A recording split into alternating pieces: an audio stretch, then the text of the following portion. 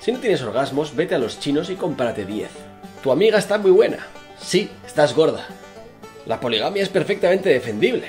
El diario de Noah es una puta mierda de película, por favor. Eh, ayer se me cayó el pene, nunca más tendremos relaciones sexuales. Me encanta Gandía Shore. Que te has cortado el pelo. Lo había notado porque se te ha quedado cara de gilipollas. He comprado entradas para la última de Bruce Willis. Maldita sea, tengo que ir a Mordor a destruir el anillo. Me he metido al ejército, los barracones son mixtos. Eres un poco hortera. Perdí mi pene en Vietnam. Mi pito está de huelga. He sufrido una mutación genética y ahora soy chica. Acabo de descubrir que soy pariente de Falete. ¡Viva la revolución!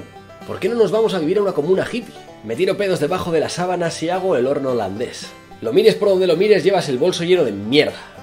Bitch. Tres tristes tigres comen trigo en un trigal. Oink, oink. El presidente de los Estados Unidos de América me ha pedido que participe en una misión espacial de cuatro años. La nave está llena de rusas cachondonas.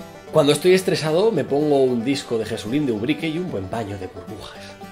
Percibo en ti el lado oscuro de la fuerza. Tu vagina es territorio hostil. Bitch. No eres pesada, es que tu masa es densa. Tu perro es tan feo que me dan ganas de arrancarme la garganta y después tragármela. Aunque ya no tenga garganta. Por la noche ronco tanto que a veces aparecen caballeros de Rohan que venían a responder la llamada del cuerno de Gondor. Casémonos en Las Vegas vestidos de Elvis y Marilyn. Yo seré Marilyn. Mi pene se ha vuelto a perder.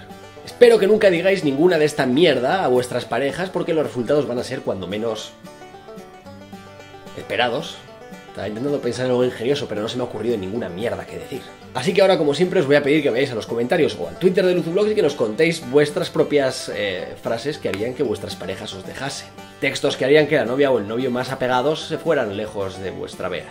Y como siempre, recordaros que si todavía no estáis suscritos a Luzublogs por cualquier motivo horrible de la vida, lo podéis hacer pinchando por aquí abajo, que es gratis. O si no, cuando terminéis de ver este vídeo, vuestro pito realmente se perderá.